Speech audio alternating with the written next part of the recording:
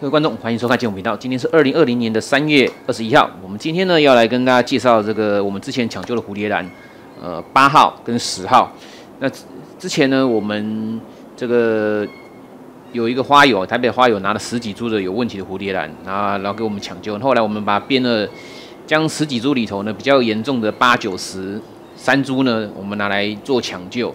那其中呢，这抢救的个过程中呢，我们发现。九号还 OK 啊，比较严重的就是比较有问题的就是八号跟十号那这两株。那这这两株的影片呢，我们之前也拍过，那我们将影片连接放右上角给各位参考。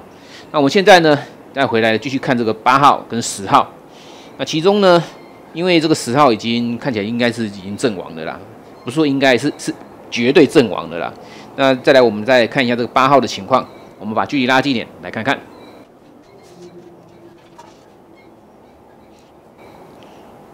好，我们现在眼睛看到呢，这边这个是十号。你看啊，我们上之前是不是说这个头会断掉？你看已经断掉了啊，这已经断了啊。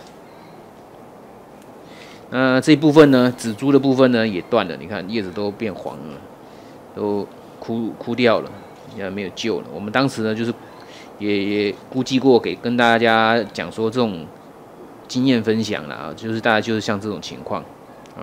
头就是会断掉。嗯，我们现在呢来看一下这个零零八号，我们把距离再拉近一点点。好，这个是零零八号的状况。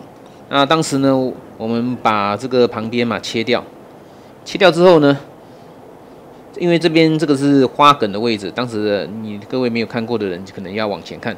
那花梗的位置呢，中了软腐病，我们把它切掉。切掉之后呢，连这个底下的部分我们也切掉了。变成上下两部，那下面的部分呢，它干掉死死死掉了哦，枯死了。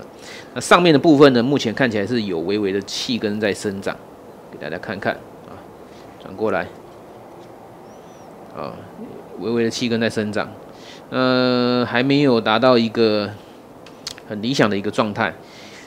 当然了，我们这之前呢，我们也有曾经抢过那个六株蝴蝶兰，啊，那六株蝴蝶兰的影片呢。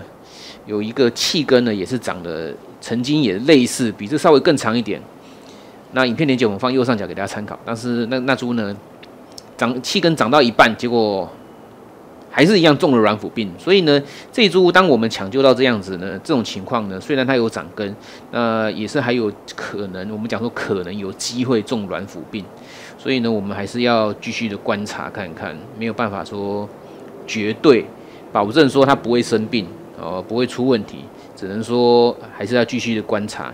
当然，我们希望说有机会可以将这株啊，可以看看能不能顺利的抢救成功。